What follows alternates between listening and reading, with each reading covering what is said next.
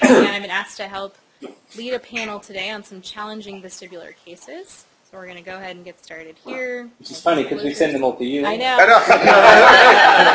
How the tables have turned. Great. So our illustrious panelists, we have Rob here, Jenny, Peter, Matt, Daniel. I think Austin may be on his Austin way. Austin is on his way. I think some of these hopefuls, Yona might try and call in, and I know Nick is in a really big That case be right now, so we'll see. All right, let's jump right in. So the theme is we're going to have GIFs that herald each case.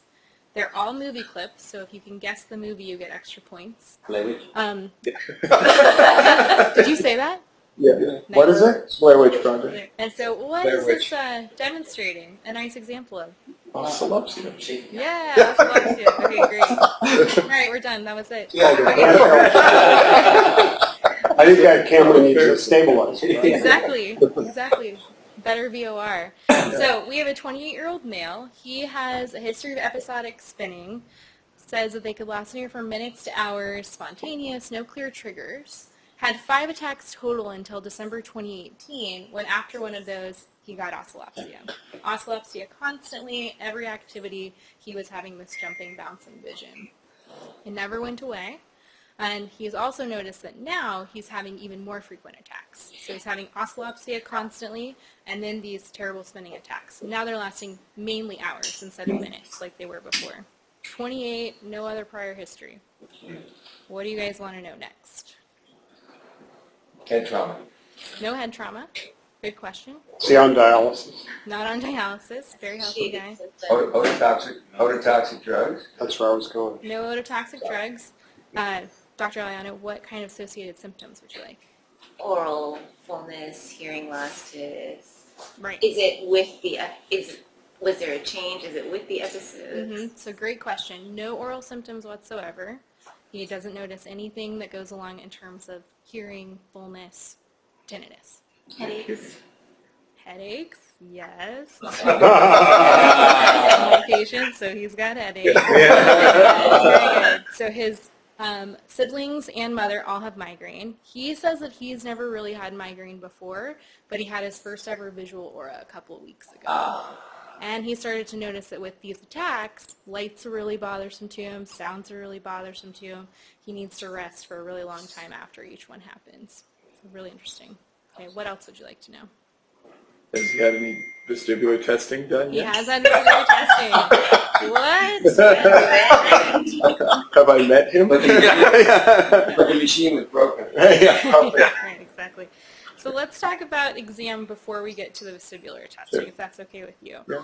So I thought I'd put up a little constellation of exam findings that I look for, but I wanted to ask the panel, what are exams that you typically do in a patient who comes in who's having dizzy attacks? Anything at all? Look at them. Stand them up.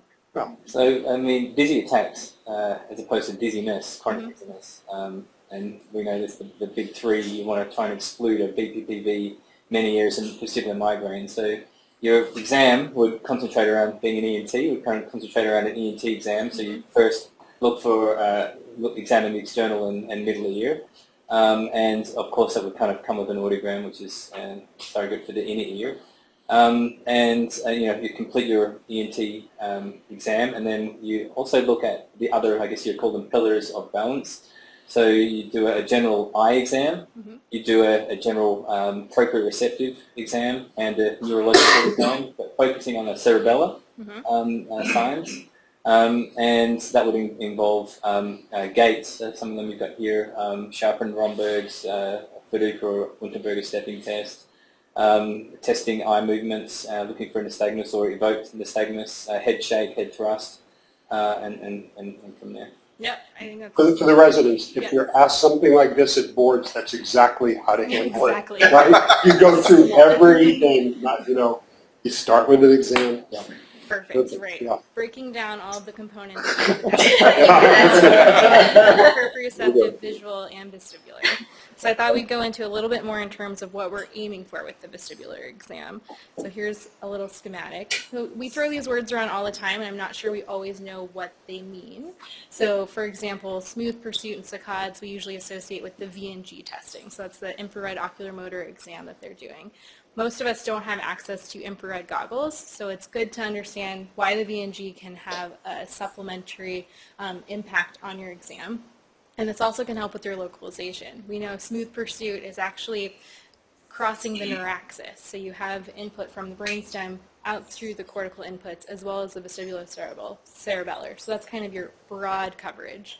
But then we get a little bit more specific with these other exams. So we know saccades are coming mainly from brainstem. It's very well preserved across many species and should be well preserved in most of your patients unless they have something neurodegenerative going on.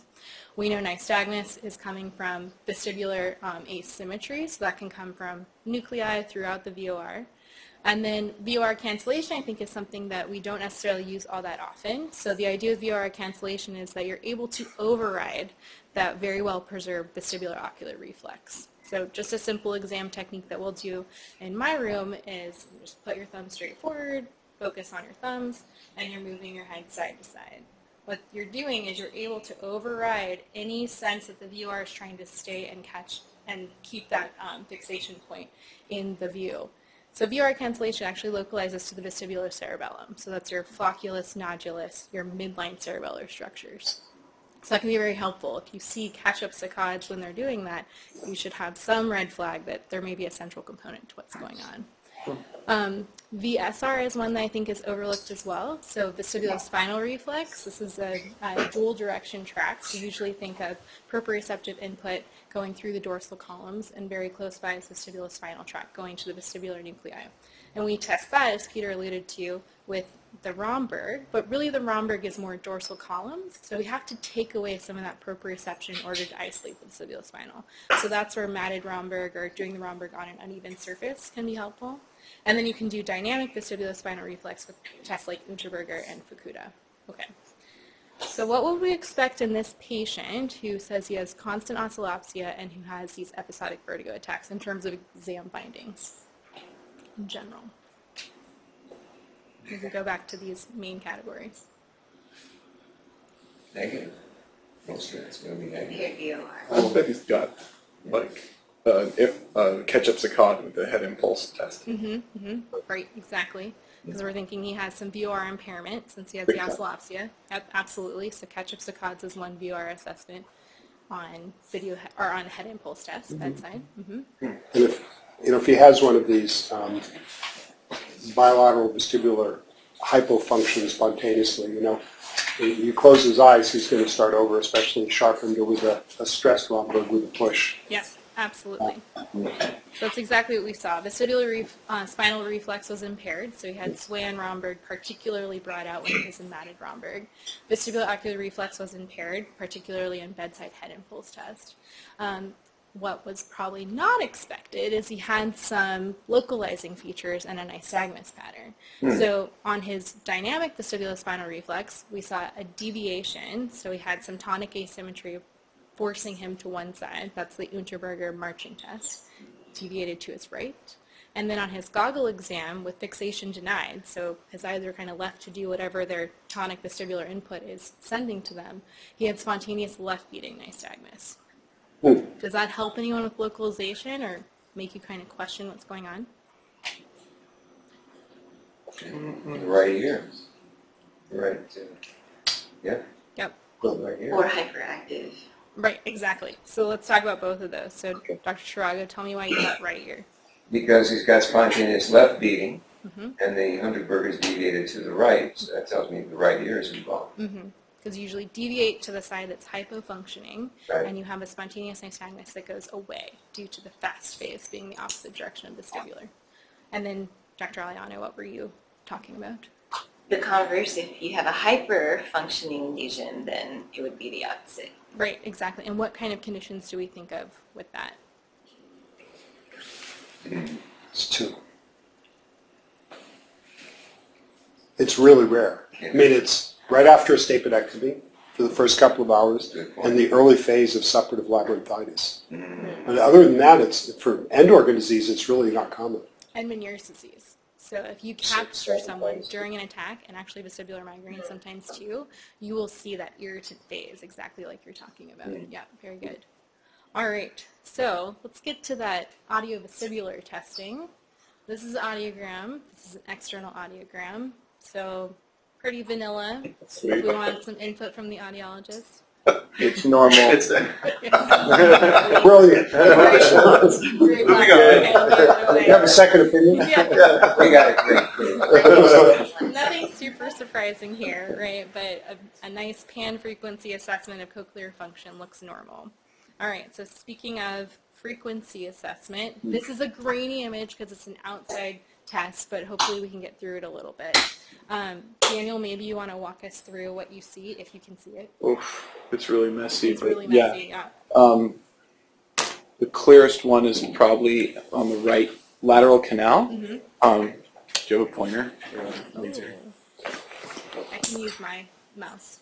Okay, yeah. So you can kind of see that there's two like tracings, and um, the smooth one is capturing head movement in a head impulse test, and the splotchy one is trying to capture the eye movement that happens in contrast with that. Um, so it's uh, this, the video head impulse test is just like your bedside, except using a video to capture that eye movement. And what should happen is this, the smooth head movement should line up with the eye movement. And what's happening here is that the head is moving and the eye doesn't realize it, so it doesn't move until later. So you're getting all these what we call catch-up saccades or corrective saccades because as your head moves, the eyes go with it, and then the brain thinks, oh wait, I have to keep that image on the retina, so the eyes snap back, so you see it all delayed throughout. Oh, I've got a shadow, so like it should sort of go here like that, and then these are the corrective spots right there. That sort of makes sense. So we do this in all three planes: horizontal, um, LARP plane, RALP plane, and the challenge behind the VHIT test is you have to go fast enough. You have to turn them fast enough that it sort of overrides the side that um, sends the impeding like signal to the brain. Um, so we try to. It's it's sort of tricky, especially on elderly people who have maybe a fragile neck, is trying to like quickly jerk their head in a certain way. Um, so it's not always easy to capture this data. Um, if you know goggles have to be super tight so they don't slip, things like that. Um, but this is sort of. I wish we had. I don't know if you have a normal one We to have- show in we have an- comparison. uh, we'll have one later. but this is really all, espe- like We'll have a nice- especially the one, the left posterior right up at the top is sort of all over the place. Like you can't even see the tracings really cleanly. Um, but Right. you know, I hope that helps explain Yeah, so essentially what we're seeing is catch-up saccades in practically every plane. every plane or everywhere. Um, you'll have to believe us because you can't see it at all, but the gains are very reduced too. And so we're seeing VOR dysfunction in every canal. And like Daniel alluded to, these are a range of frequencies, but ideally we're looking at 100 to 300 hertz. So this is high frequency fast, yeah. angular acceleration. All right, so we're seeing that in every plane, which there'd already been mention of maybe some bilateral hypofunction. Next test we're looking at is calorics. And so maybe Matt, you could tell us a little bit about calorics. Well, I mean, it's, I mean, in these cases, we're trying to, uh, um, in effect, whether through use of the air or use of the water, we're basically stimulating your lateral semicircular canal. You know, the assumption is at this point then it's, it's we should expect to see a certain amount of saccades resulting from that stimulation. If we don't, what we're commonly looking for is make sure that the one we're seeing the stimulation, and two that it's similar in amplitude across the two ears. And if it's not similar in amplitude across the two ears, then we call like a, a weakness at this point. So patients can have, if you have abnormal semicircular, lateral semicircular canal function, you know, um, in both ears, we call that a bilateral weakness. Otherwise, we're looking for weakness one side or the other.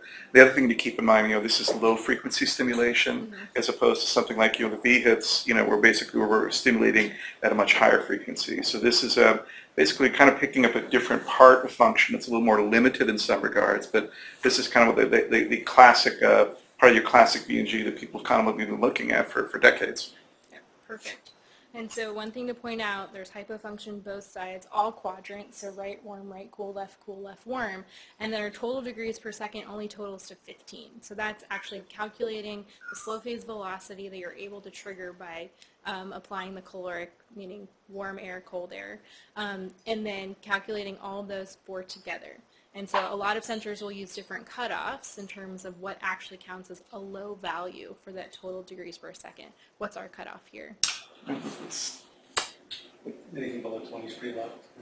I've used 30 as a cutoff before. Yeah, for I've seen anywhere from 20 to 30. So I personally use 20, but you'll see 20 to 30 at most. Do you do ice water calorics in cases like this? So you probably should. It's very technically difficult, and we try to get over that by doing a rotary chair instead, because that's the Oh. gold standard confirmation for bilateral Yeah, loss. I, I ice think water, UCSF, I would go to the cafe and get Yep. crushed ice, Yep. put water in it, take a 30 C syr- Mhm. C syringe, say, this is going to hurt. They- they- I mean, those really stimulate the Russian system. We've So done it's it like, in our clinic, but usually we've done it to see if like gentamicin has been effective or not. If you're using something to try to kill Yeah, the vestibular function on one side because of someone's debilitating dizziness, it'll be ice water that will try to see, okay, is there anything left because it's such a strong stimulant. Yeah. so one of But for the, someone like this, no, that's it's just low. We don't need to know anymore. one of the ways I use it in people who have chronic vestibular symptoms and very poor hearing or labyrinthectomy ca- um, candidates, if you get an ice water response, um, you know, if you get nothing on calorics or ice water, maybe the labyrinthectomy is not going to help. But sometimes they're flat calorics. With the ice water, you get something. Yeah. It's, it predicts that we're killing the rest of the labyrinth in already a deaf or very poorly functioning ear may be more beneficial. it, you know, one thing, you know, on a, just, you guys know, when you're doing these things, you have to, um, it's sometimes for inexperienced audiologists, you can make mistakes with not stimulating the ear appropriately. So if you're not basically heating or cooling the ear sufficiently, you know, it's like you can artificially get an, an artificially low value. So you want to make sure, in effect, you know, you you're doing it right, you know, so this way you don't have to give somebody an ice caloric, you know, when you don't need it, because those will really stimulate it, and people do not like that at all, so. Yeah, maybe the canal is not completely clear. Yep. Maybe they have a very tortuous canal. Yeah. That's where air can have a lot of difficulty because you're not getting that straight shot in terms of activation. That's where water can be more helpful, that it can take those curves a little bit more easily. Okay, so super low frequency calorics, high frequency V hits, we're seeing bilateral loss. And then we have our cVEMPs, so our cervical vestibular evoked myogenic potentials. Maybe Austin, quick one-liner, what these are looking for.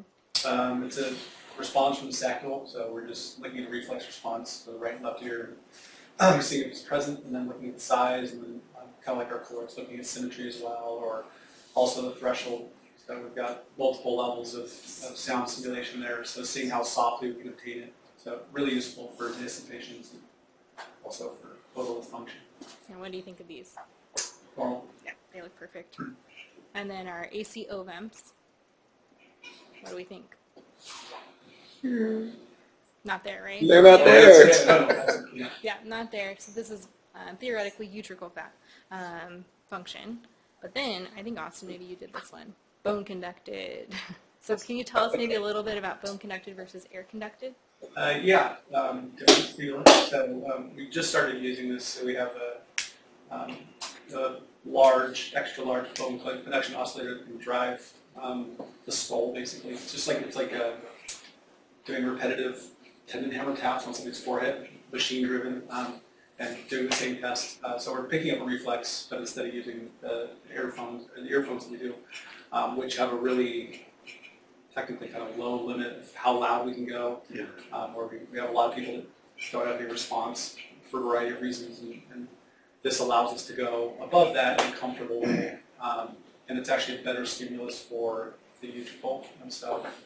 Um, so yeah, these are uh, just a little bit response with the different stimulus. So notice just again another kind of recurring theme again, making sure that we get an appropriate stimulation for the vestibular response. And this is kind of so that's part of where we're seeing these uh, these bone conduction VEMPs is really is kind of because so we it's well known that sometimes when we're stimulating say pure tones or other things coming off earphones, there could be a number of things that could limit our ability to get a good stimulus. And so we're looking. You know, this is, I, I speculate that the bone conduction VEMPs could become much, much, much more common because it's a, it's, it's a more direct way of stimulating the otoliths as opposed to the, uh, the indirect route that we get when we are, when we're using, you know, so. It's not as bad as it sounds. Yeah. and hammer repeatedly to the skull. okay, so we're seeing vent presence, meaning we're making our way through the otolithic organs. They seem to be spared for the most part, but the it's unclear if bone conducted is just a better stimulus or if that means there is a little bit of weakness related to why the air conducted are gone. But for the sake of this, we'll say they're spared. Um, but our canal function, our rotary function, we're concerned about. Yeah. I'm sort of, uh, I didn't know that bone conduction stimulated the utricle better than air conduction, and I didn't really understand why.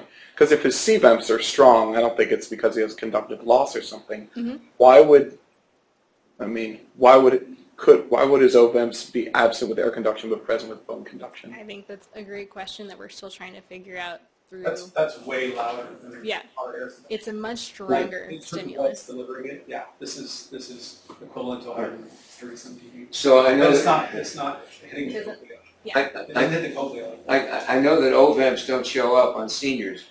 Will the bone conduction OVEMs come up positive? So there's some new research showing that they are present at um, older ages Mhm. than the air conducted. So it hasn't been fully, completely sussed out, but it seems like it's going that direction. We have, a- we have a candidate. Yeah, we- I I mean, actually, George, I, I just funneled a paper, like, look- Hey, talking about you. some of this I to, tell you, to, to Kristen, Daniel, and and Austin today, and then Austin was talking about the difference I'll between trying. the bone conduction yeah, used to stimulate that versus kind of what we're utilizing, and so now we're kind of, we're just, I was just joking, like, should we write our own paper comparing this out, because I think that would be a, probably next step. Would we ever do bone conduction with CVEMs? Um, I don't know, because CVEMs seem to respond really well to air conduction, but is it going to be a gradation? You know, just like we How many see. extra bends do you want to do? It's a separate test, separate five, so- Well, well, yeah, but I'm just thinking if bone conduction is a better stimulation for OVEMs, Yeah, it might- maybe it's a better First, stimulation for CVEMs. Do we know Just that looking the yet? residents. Do you know what we're talking about? Yeah. Can we start back Yeah, and let's- tell the residents what a VEMP Yeah, is? actually, I'm serious, it's, Let's, yeah. let's do this slide here then. Okay, so this is a nice slide out of University of Sydney, helping us localize what this testing even means. Okay, so we have a very grainy labyrinth. It ha- we see the cochlea. Cochlea doesn't matter anymore, so it's gone. Instead, we have our vestibule here. So um, in the green, we have our anterior canal and our horizontal canal. In the gold, we have the posterior canal. And then what you see also in the green, more towards the center of the vestibule, we have our utricle, and then in the gold, we have the saccule. And what those colors are differentiating are the, the nerve distribution, so superior vestibular nerve versus inferior vestibular nerve in terms of how they're innervated. And then this helps us to localize where those testings are focusing their, um, um, where they're focusing. Okay, so we have our anterior semicircular canal with the V-hit, lateral semicircular canal with the V-hit, and posterior semicircular canal with the V-hit.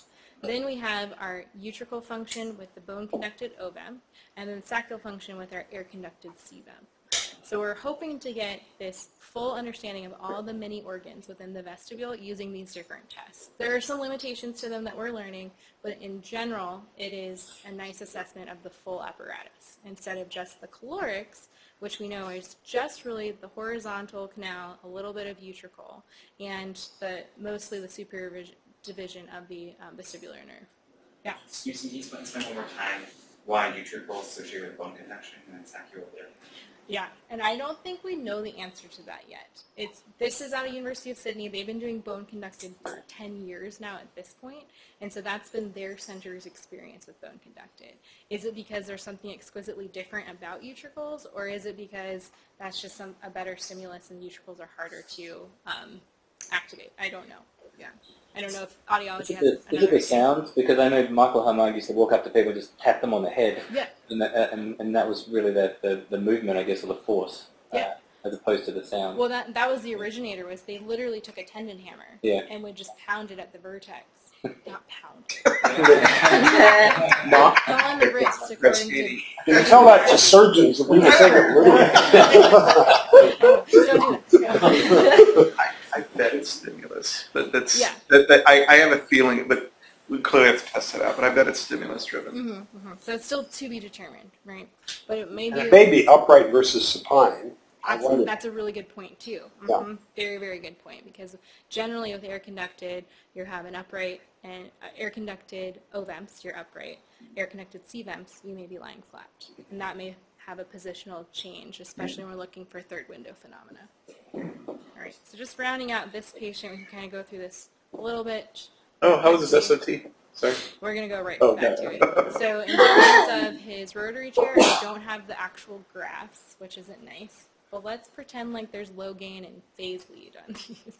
Mm-hmm. what would that mean to you? Sorry, Kristen, what's, what's rotary chair again for our residents? Oh yeah, okay, so rotary chair, we're looking at rotation of the full body. So you're looking at bilateral involvement with rotation.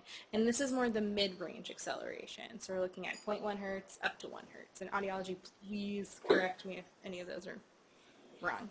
Um, so when you see this, again, we don't have the full graphs. What does this tell you in terms of what we've already looked at? It's consistent with vestibular problems. Very consistent, yeah. It's a nice, mm, uh, like the mid-range, like you were just saying. The V hit is fast acceleration, caloric testing, very slow acceleration. This is sort of the frequencies in between. So you get, it's almost like a frequency specific sense, okay, how much rotation does it take for the inner ear to sense it and tell the brain what's going on? Perfect. But going back to the initial point, Mhm. patient is oscillopsia. Mm-hmm, In my and so could you explain that for the residents again, because they're new to this, but how many causes of vertical plane oscillopsia are there? Right. So what the oscillopsia really is saying, we've lost our VOR. And what all of these tests are are different assessments of VOR from each one of those organs. So we're confirming that he has VOR loss from multiple organs bilaterally. And the bilateral is really important for oscillopsia because a lot of brains are able to compensate for unilateral vestibular loss and uh, make up for that VOR through central compensation, through reweighting processes. But when you have bilateral loss, it's much more difficult to come back from that. So that's where we hear the classic story of the jumping vision whenever they have any head movement, and then having difficulty with their vestibulospinal reflex, meaning standing upright in uneven surfaces or low light settings, because those are taking away your proprioceptive input that you've reweighted towards or your visual input that you've reweighted towards. And that leads us right to our SOT, which is a computerized version of looking at those different inputs to balance, your visual input, your proprioceptive input, and your vestibular input. And so, Daniel, do you want to tell us what you Oh, sure. Um, so uh, sensory organization tests, uh, you have the patient stand like in a huge chamber, um, and they're strapped in, harnessed in so they can't fall, and they're uh, standing on a plate that senses how much they move. Um, and there are six conditions, um, going from easiest to hardest. S- condition one is basically just stand there and try not to sway. Condition two is close your eyes and do the same thing. Condition three is you can open your eyes, but the surroundings around you will move if you move. So if you sway, the everything around you sways. It used to be an actual like um, piece of like scenery, and it would like jerk with you every time you move. But now it's much more um, digital. Like you, it's like you're like an inside of an egg, and it's projected, and you've got all this visual stuff. Um, in conditions four, five, and six, it's the same where there's vision, no vision, and then confused vision, except that the platform that you stand on is suddenly not sturdy and it moves with you. So you have to uh, balance yourself kind of like you're on a surfboard or a Ouija board or something like that. Um, and by the time you get to conditions five and six, you don't have uh, so- som- somatosensory cues coming from your feet because the platform is unsteady, and you don't have visual cues because your eyes are closed. So it's usually condition five and condition six where you can't trust your eyes that if you have no vestibular function, you will fall. So you can see, I don't, it's sort of dark, but it says fall there. Fall, fall, Fall. fall, fall, Yeah. So Right. that, that's that's what SOT is in a nutshell. Yeah, perfect. So again, very consistent.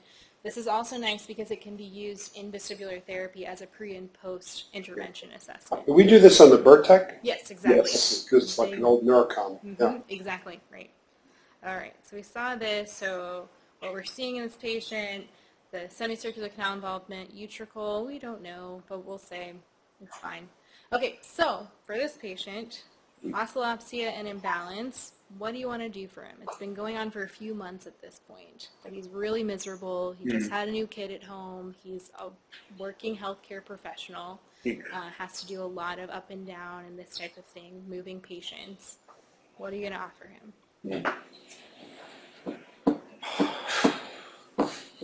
VT. VT. VT. Always VT. Hero, hero, hero. Yeah. Hero to the rescue. So VT, and then I will give. Vestibular therapy. Yes, sorry, vestibular therapy. These folks have real troubles. I mean, this Ah. is, they do not, in my experience, they don't get better. And it's really weird because it's just selectively semicircular canal.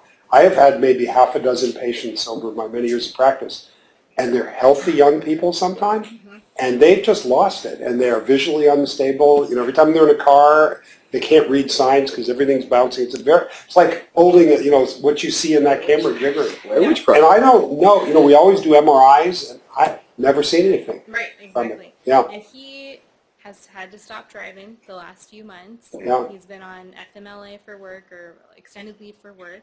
Um, it's really, really problematic to him. So I offer these patients steroids. I say, we might as well try. You have bilateral involvement. He doesn't have an autoimmune history. He's a man. But I'm still going to offer it because how much harm can it do? I always counsel patients, you know. you Is this based on any, any physiologic reasoning or is just, Oh yes, Shotgun. absolutely. So we're seeing. Well, that's a little bit shotgun. okay. But yeah, sudden sensorineural hearing loss. You're seeing dual involvement. Yeah. What are you going to do for those patients? That's so I think of this analogous to that. Okay. So offered him prednisone. Interestingly, his oscillopsia went entirely away after Wow. taking the What? 60 milligrams. Yep, What Just about, oral? What about MS? oral. It gets better with prednisone. What about multiple sclerosis if it gets better with It'd be- It wouldn't be bilateral. It wouldn't be violent. We wouldn't see peripheral involvement like that Ah, if it were MS. okay. Right? We might have seen some extra latencies on the VEMPs potentially, but everything else should have been Okay. normal. Okay. So the usual situations, you're seeing them eight months later after they've seen 10 doctors. Yeah. And- That's right. If you can, if you can see them early like that, that's great. Yeah. I, I, this was like eight months after. Oh, really? Um, and they got better eight months? Yes. I'm going to remember that. Did they stay better? Great question. Great. So, what do steroids do? We know they're anti-inflammatory. Steroids kind of make everything better for some people. You know, you know, we use them in status migrainosus. We use them in acute vestibular syndrome. We use them in brain tumors. We use them everywhere, right? And they can make people better. Sometimes we don't know why. That has an anti. But I would have thought the sensory epithelium was dead, Right. right? But you can bring it back to life? Well, Cancer wasn't completely With lightning. He still had some gain. He they were. still had some function on caloric, so we were able to tease out. his Mostly dead. Just mostly dead. and he's young. He's very plastic. And the lateral nystagmus had to do with an asymmetry. There's a little bit more function on one side than Exactly. the Yeah, other. we kind of glossed over that, but exactly right. I thought that his V hits on the right were worse, and then he had um, potentially that um, VEMP involvement, but unclear. Um, oh, we'll get back to it. Okay, so came back though after he was off the steroids for a couple of weeks. Oscillopsia came back. We repeated the V hits when he was feeling better to see if we could objectively measure this. And Austin might remember this.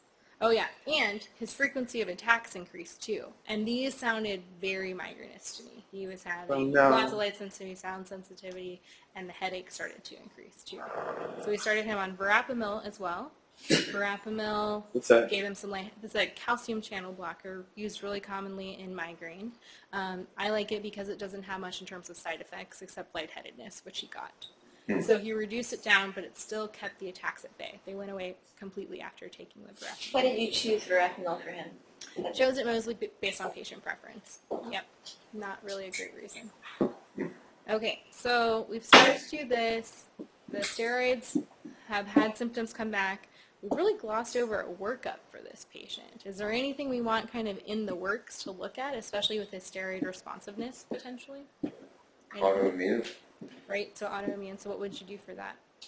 Uh, I turn them over to the rheumatology clinic and say, please do it all. Yep, that's fair. And they say no. Of them nice. Okay. Any other thoughts, what you might get rheumatology-wise? Well, it's- he has no iritis, he has no Mm-hmm, unusual rashes, no other stigmata, mm-hmm. you know, historically of arthritis or inflammatory arthritis of the small joints and all that. the- I would get, you know, RF, ANA, ESR. Um, you might want to think about sarcoid as well. Mhm. Um, you know, Yep. likely, if it's positive, it's not related, but, or as the neurologist say, epiphenomenal. Yeah. so this is complete at RF is in the ANA with reflex for me. Um, but yes, exactly. We're looking for autoimmune reflex. We're looking for infective causes. Um, TB. I know Dr. Aliani had some experience with that now, but um, and then I will do a vitamin screen, especially What's the B vitamins. an ANA with a reflex? Oh, if, if the ANA comes back positive or high um, ratio, then it will reflex into those less common um, lab test. Okay. So that they'll start to do their own investigation. Yep. What if Lyme comes back positive? That's resistant to infectious disease. And just Run away. Was that all negative? That was all negative. Yes, that was all negative. Exactly. Thank All right. So these are his repeat V hits. Whoa, What do you think? Whoa. that's way better. Oh, I didn't think so. It It's like a seemed user better. copy thing. So I thought they looked pretty similar looking at, because if you look at this waveform here, It's still dirty. that looks about the same And lateral like, Yeah. as this one lateral. Yeah. That's a different ear. They're right, Fine. flip it right and Oh, left. sorry. Well, I was just looking at laterals here, but these lateral look about the same. It's still okay. All right. But his gains are definitely better. Yeah. So waveforms wise, not so convinced, but gains I thought were better, except for here and left posterior. Posteriors are bad for him. Here. So a little bit better there. Oh, and the difference between this picture and the other is just different type of equipment. Mhm, Same test, just different readout. mhm. Does anyone want to scan him? I would. The What would we be looking for? The tracing. Your favorite? Uh, well, let's put it this way: it will be normal, but you know, it's something that is so. I mean, in the acute phase, for any sign of gadolinium enhancement within the semicircular canals, perhaps any difference in the fluid pattern or protein in the fluid. Um, also, just looking for things like siderosis, oddball stuff. I mean, siderosis is something that can cause, siderosis. yeah, Yep. right. You know, with recurrent small bleeds, doing iron staining, you know, can give you certainly progressive hearing loss. You know, looking for Chiari, it's a long shot, but you know, all sorts of stuff. I, I just because it's such a huge life impact, I would do. I, I completely agree with that. Yeah. Anyone else looking for anything else? I think that's a pretty comprehensive list. Intracranial hypertension, you need to pick it up on Intracranial hypertension, Yes. and you're looking for bilateral vestibulopathy related to that. Once in a while, if there's enough pressure there. The low pressure ones get a hydropic picture. Mm-hmm, mm-hmm. Yeah. Yep, yep. So this is his scan. He has a very interesting hook in his brain. Overlap with the other ear. You're fishing for a diagnosis. I it out. It's that. Is that why? I have no idea what that is. I just It's, thought it's the other earlobe. just Yeah. coming through, right? Yeah. Um, but things looked fine actually from what. I mean, the, the other thing would be inner ear malformation potential. Maybe they had lateral semicircular canal dysplasia, and that's how it's showing up years later. Mm-hmm, NF2 something. All right, so then talk about final diagnoses. So actually, Rob has already brought up a lot of these. So I diagnosed with bilateral vestibular hypofunction. I think everyone was on board for that. Eponym known as Dandy syndrome. in case you didn't Why? know. Same Dandy as Dandy Walker. Oh, I don't know. Because Walter Dandy did vestibular, he's, yes, Walter from Missouri was a famous neurosurgeon at Hopkins, and he started doing eighth nerve sections, and would sometimes, because they didn't get better, did the opposite side, and so the, da- so it was a bilateral eighth nerve section. Wow. Dave Dandy syndrome. Stay out of Baltimore. Yeah. I knew Oh, goodness. Good way to get a syndrome then, though. I, wrote- a paper called The History of Eighth Nerve Surgery. I'll, I'll show you. Ah, okay. Just for all that, Did yeah. Not do my homework. All right. So vestibular hypofunction, unknown for sure etiology, as most of these are. Yeah. Autoimmune has a compelling story here, given his response to steroids clinically and potentially some improvement on gains. Though he had been doing vestibular therapy at that point too, and it had been a little bit of time, so unclear. Um, and but you know, interestingly, there's a school of thought that migraine can cause its own form of vestibulopathy. There have been case series that, sh- that have actually tracked migraine, showing that vestibulopathy will occur over time. But then there are also larger studies that show that migraine is very common in bilateral vestibulopathy. Greater than the general population, about 50% will have it. So is this migraine being triggered by a very impactful sensory change, or is migraine actually causing uh, vestibulopathic change? Another potential, especially given his episodes, are sequential vestibular neuritis. Was he having a really, really unfortunate thing of having sequential vestibular neuritis? Really, really rare, but hard to say for sure. Diagnosed him with vestibular migraine. He met criteria. They were classic migrainous features lasting at least five minutes, up to 72 hours, and they responded to verapamil, which was nice. And then, as Rob already brought up, no evidence of kind of the more obvious things that we think about, vestibular toxic exposures, bilateral schwannoma, Meniere's disease, history that's progressed over time, superficial siderosis, trauma, infection. What's void? Could you- I have no idea. it's a granulomatous disease. Apparently it affects females predominantly, but I've never seen it before. I don't know if anyone else has. But it was on the list.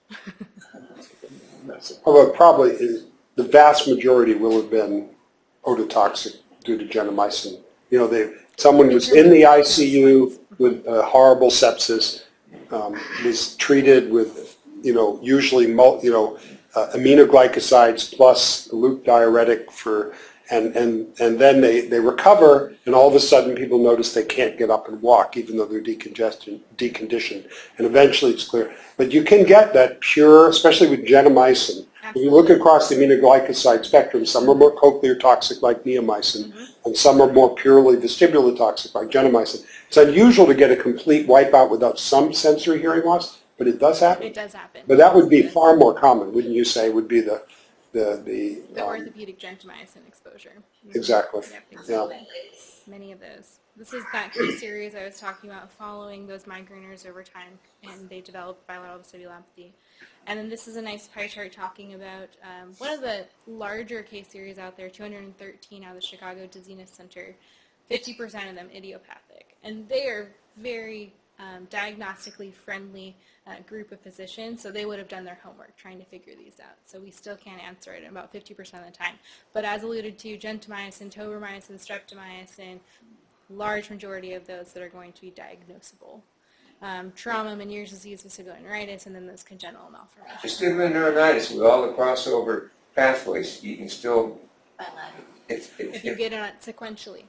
Uh, But how do you really know? I mean, Right. I, that's kind of a garbage diagnosis. Mhm, Right, I completely agree. It's a Yeah. acute vestibular syndrome affecting the peripheral apparatus. Are they having ischemic events? Are they actually viral events? Is what is going on? Is this all part of this autoimmune process? We don't know for sure.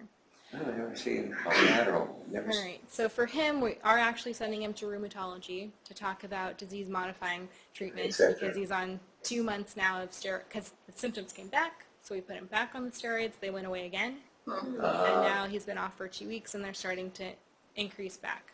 So it's Would you think about going to some form, other form of immune suppression? Absolutely. Yep. Methotrexate or something? hmm So he's meeting with rheumatology on Halloween. So we'll find out what they say. Huh. And Trick or treat. Yeah, exactly. really trick or treat. Yeah, that's right. Okay, I think we have time. We'll go through these, I think, a little faster since we know. I know that movie. Yeah, it's a pretty obvious movie, but it has to do with what the patient's complaining of. Yeah, what's the movie? Back to the Future. Great. All right. Who was it? So this patient, also young male, 34 years old, he has zaps of dizziness, room spinning. They come on for 30 to 90 seconds when they come on. He says usually they're spinning one direction, usually to the left, but sometimes they'll go to the right. Um, they can be spontaneous, but he can also trigger them sometimes. He notices if he turns his head, sometimes that will seem to bring it on. Uh, it can happen multiple times per day at its worst, but it does seem to come in clusters. He'll have two weeks where it's really active, and then it'll go away for a while, maybe months, maybe years, and then two weeks to come back again. Oh, What he's coming to me for is that this has happened in the past, but now he's got imbalance in addition to this, and he's never had that before. And he's 34, he's young. He's very bothered by it. He has a history of type 1 diabetes, no family history of anything else that's going on. And he too had his first visual aura two weeks ago. It's contagious. Vestibular testing. Universal cause of all I this. Seriously. That's You exactly got, right. you got a nail, you have a hammer. So what do you guys want to know? Anything? Parents, mother, No family history. Christine. Hmm. This happened all his life. Happened for the last, I would say, 10 years. But only recently has it turned into an interictal phenomenon, meaning imbalance in between. Mm-hmm. And it hits him spontaneously when he's just sitting in a chair. Mm-hmm. Mm-hmm. hmm The imbalance, does it get better? When does it get better, if it does? It's all the time. How long does it last again? Uh, the zaps are Yeah. 30 to 90 seconds. Does he hear anything during the zaps? No, that's a really good question. He doesn't. Does it only happen when he's sitting in a chair, or does it happen, Anytime. he could be driving a car? Yes. He doesn't drive a tanker truck or anything? No. Luckily, he's a shuttle person, so he he have- doesn't have to drive. Other aural symptoms like pain or rushing or tinnitus or anything? Good question. Puppetery neck movements that set it off. Just sometimes if he turns his head. Not head back or Mm-mm. Does it always spin the same way? No, the majority of the time it's left, but sometimes it can be right. Mm, mm. Okay, so we can go Does he get nystagmus? He thinks he does. Yes. He has not taken a video of it though. But he says, yeah, my wife says my eyes jump. Yeah. never got that. All right, so his exam, our good old framework here. Vestibulospinal reflex, impaired, makes sense with his complaints of imbalance. Vestibulo-ocular reflex, also impaired. Um, he has the opposite, so he has nystagmus, right spontaneous fixation denied, and inter- Unterberger deviation to the left. Kind of interesting, some lateralizing there. Audiogram, Matt? Yeah. Look, he's got normal hearing. Yeah, he does. All right, V hit time. What do we see? Delayed. It's good to me. Austin, you can shout it out if you want. Uh, they all look pretty bad. Mhm. Both sides. arrows. when there are arrows. exactly.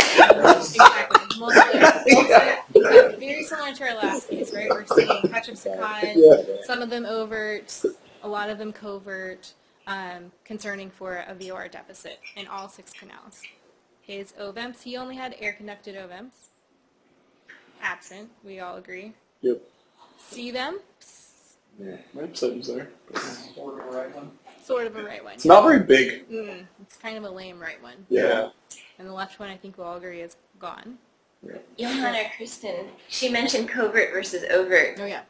um, saccade, catch-up saccades. Can you explain to your younger residents what that means?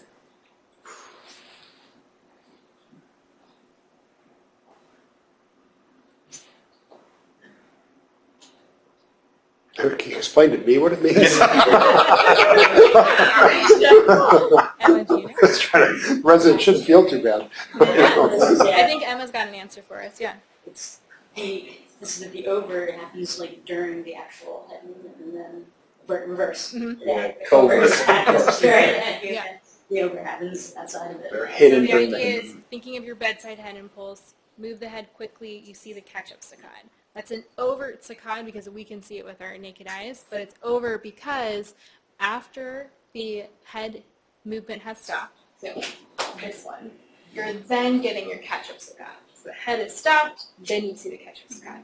Whereas covert means that it's happening while the head's still moving. So covert meaning you're not going to see it with your naked eye because they're still moving their head there. You see it with IR glasses? Yes, you can. hmm And if you've got a, a slow down A covert? uh, video head, I can't see it. That's- you can't. If you slow down, if you slow down the Oh. video. Yeah, not. Oh, yeah, yeah. oh, in real time. Oh yeah, not. Not with the naked eye. That's two tenths of a second, so, you know, you'd have to. What's the problem with that? but if you if you do a slowdown of the video, then you can see it. Yeah.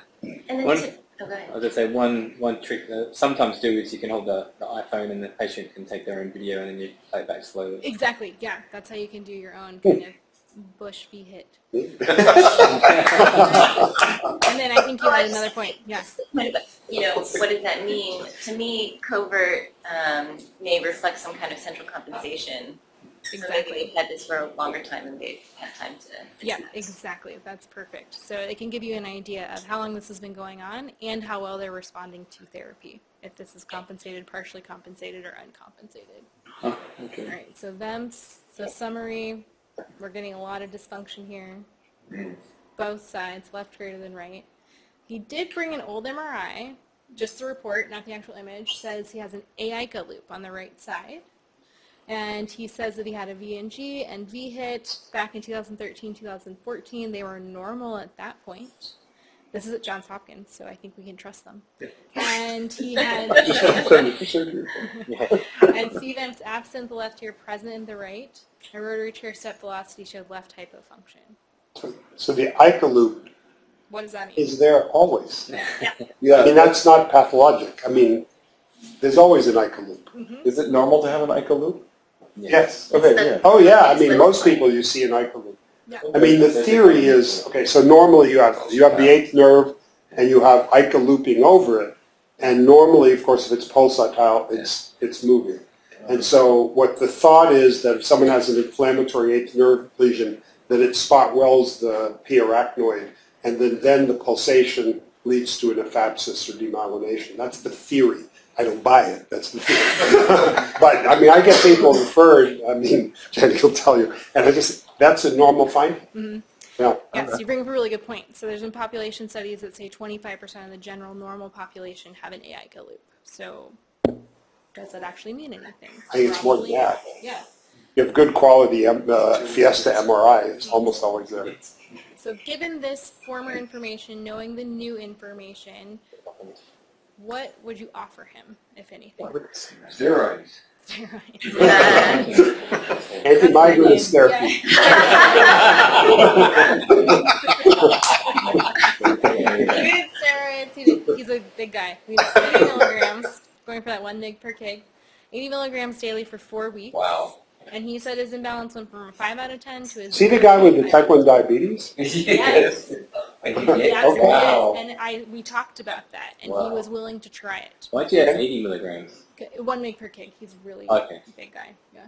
What about intratympanic if he's a diabetic? We could have. He wanted to start with the oral. He did great. His blood sugars were fantastic. You got more guts was than really I good. have. He had an insulin pump and he Ah. could do funny Yeah. things to it. It was Just okay. continuous monitoring. Yeah. He was fine. He loved it though, because in addition to his imbalance getting down to a very, very low level, he had no more attacks. His Is that because don't. his two week cluster was over, or is it because of Yeah, the horrible steroids? You rate. know? I know, yeah, yeah. That's a red flag. Uh, I just threw this in. I don't really know why, but it can give you a nice way of looking at the Oh yeah, this is what I was Yeah. trying to explain. Thank you. was, I was reading your mind. Just put it in randomly. so good. So this is a nice little schematic showing you how the vestibular function test rotational testing is spanning the frequencies. So you'll notice caloric testing is way down here. That's the first day I met Kristen, she told me that. It shattered me. Natural head movements are way over here, mind you. So caloric is actually a subphysiologic level, but it has a role, which we can talk about. Um, rotational testing, meaning the chair testing, has a nice range. Do we do extended rotational testing? Oh, we don't even get to one. Okay. 0.64 is what I Point said. six four? Okay. So apparently you can go up to two, I guess. Really? That's what this paper said. Yeah. What, what speed does it go like in a amusement park when it whips around like that? Oh, boy. Uh, well, you're on the outside. We spin them in the middle, so they're not. You I know, see. like the teacup, the Digimon, it doesn't go that fast, but you're. You know, Way out You got there. the Around the central, yeah. outside. Yeah. Oh. On the other side. Good point. I don't know what speed. So this is just a caveat. And to bring up the analogy, you know, calorics really is only one frequency. And that's what we're, are you okay with an audiogram that's only one frequency? No, that doesn't really give you the full story. Okay, so what next? we repeated his V hits. What do you guys think? I already said my thoughts. It's no change. Yeah. Very good. This one I really didn't think changed much. The gain stayed essentially the same. There wasn't really anything going on. Um, let's see. I put the chimps in. I don't know Oh, if anyone wants to talk about chimps. Maybe we can save that. Let's save chimps. Okay. Okay, so let's look at his imaging here. Uh, who would like to read this? obvious Ica loop on the right side. Yeah, good job. Good. Here's the thing. He also has one. This is just one cut, so it's not great. He also has one on the left side, I'm shocked. and then he's also got this third one down, kind of pretty low, actually. What is That's that? pica. That's pica? against the ninth nerve. Oh, okay. Well, they called three AICA loops. They So first of all, let's, let's be Can right. there be- There are two Ica loops. Right, Right, exactly. Ica comes out of the pons, Mhm. right, and then it curls, it loop, there's a loop where it's attached to the pons, giving in uh, perforating vessels. Mhm. Then it comes out in the CP angle to the IAC where it gives off the internal auditory artery. That's why there's a bend. Mhm. Then it comes back down and nourishes the cerebellar peduncle. So, it, and by the way, AICA is redundant. It's ICA, right? Is there an AICA? AICA. A-I-C-A. Right, AI, oh, there you go. Ah. There you go. I've always called it ICA. There you go. Yeah, Here, there's a- yeah. AICA and AICA. So, I mean, these loops, that is normal anatomy. Oh, I mean, that's, they're all the time. We see it all the time in surgery. So you can. Yeah. You're right. But I don't buy it. So. These are his diagnoses. Do you think it's pathologic? So I think it can be. Yeah, Yeah. there's some really interesting data for vestibular paroxysmia, which is what you were talking about, a demyelinating event related to the friction from the AICA having that vestibular or that um, neurovascular compression. Um, there are extremes of it though. So there's a neurosurg- neurosurgeon slash ENT in New Zealand who surgerizes every single one of these. Oh, boy. And he's convinced that that Yeah. does it. Peter Jannetta did hundreds of them. Yes, yes, yep, Right, exactly. and, Or and- American and it was Heart. largely debunked, but of course, he was not nearly as precise as diagnosis. But then is there a correlation between how prominent the loop is on the imaging versus incidence of vestibular paroxysmia? Right. No, there is no study looking at that. but instead, there's a medium ground for this. So there are actually vestibular paroxysmia diagnostic criteria. Vestibular paroxysmia diagnostic criteria from the International Journal of Vestibular Disorders, the Bárány Society. The idea is that we have at least 10 attacks of spontaneous spinning vertigo, it can be non-spinning, duration less than a minute for the majority of them, stereotype phenomenology, response to treatment to a uh, sodium channel blocker, carbamazepine, oxcarbazepine, and then shouldn't be better accounted for by another diagnosis. So the medium ground is if this patient has a response to oxcarbazepine, that it should count as like a trigeminal neuralgia analog. This is the, the demyelinating ephaptic transmission of the vestibular cochlear nerve Right. compared to the trigeminal nerve. Some, some have suggested that there should be an ABR wave one to three delay. Mm-hmm, mm-hmm. As well, Yep, yep, if that exactly. was true. Because of this um, demyelination, right. Um, so what most uh, believers of vestibular paroxysmia who aren't surgeons will do is they will prove that they've had a medication response. And then if they can tolerate the medications, they can stay on the medications. Vestibular paroxysmia is really interesting in that you don't necessarily have to stay on the medication chronically. Some people just need bursts of it, and it kind of quiets down whatever irritation was going on, and then they can go on it later on if they want. Other people have to stay on it long term. That's good for the white counts. Yes, uh, and the sodium. Right. Um, on, and so they'll use that as kind of their diagnostic criteria and would do that many, many times before they'd ever even consider surgery. So, So- very few people end up with surgery. In the surgery, are they moving the leak loop and putting in Ivalon sponge, or are they doing a neurectomy? Sponge. Okay. Mhm, exactly. So- So the reason I thought this may be possible for him, and we didn't, we have not done the oxcarbazepine, so it's a little bit of a stretch here, because he got better with the steroids, which we can see with irritated nerves all the time. But the reason is the duration is so interesting, and I can't think of something else that would account for it. He doesn't have BPPV, that's never been captured, it doesn't even sound like BPPV. He has now clear bilateral vestibular hypofunction that has progressed, and there are papers that, oh, not there, there are papers that have shown a progressive hypofunction that can occur in vestibular paroxysmia patients. Um, they'll follow them over time and they'll start to lose their calorics, they'll start to lose their V hits, and then they can um, have this long-standing vestibular hypofunction on there. So Did you ever have these vertebral system looked at on either side? It wasn't like redundant on one side or something like that. It just seemed strange that it was always with head turn. Oh, it could be um, either one. So it could be spontaneous or with head turn. And, you know, I was going for this this patient. oh, for this one, you Yeah. mean actually looking at MR angiogram or CT Yeah. angiogram and seeing if he has some tortuosity to the vertebral artery. maybe it was he That's a had the redundant side on one side, and he has only uh, one feeding side, and What will you do with that information? I don't know. I don't know. Yeah. so No, it's, you- it's, it's an interesting point. if it's a if it's if it's a variant of the vertebra, vertebra basilar, Mm-hmm. um, I have seen maybe one or two patients they just had one vertebral artery, but hmm They do fine. yeah. Yeah. yeah. So, I mean, I lived through the era when vascular loop decompression, the eighth nerve, was in fashion. And I will tell you, the, the flotsam washed up on my beach. Right, right. You know, there's a significant risk of deafness because you're, you're manipulating something that can Absolutely. Into an artery. And, and, you know, there's a huge um, placebo effect of a craniotomy. Of course, I Yeah. completely agree. I have about 10 VP patients. None of them has gone to surgery. They've come in asking for surgery, but they've all responded to medications and stayed on their medications. So I, I I mean, it's possible that, I mean, all sorts of things have been tried. In, the, the history of surgery for dizziness is replete with extraordinary variety of operations that were all reported initially to be wonderfully successful and that eventually got withdrawn.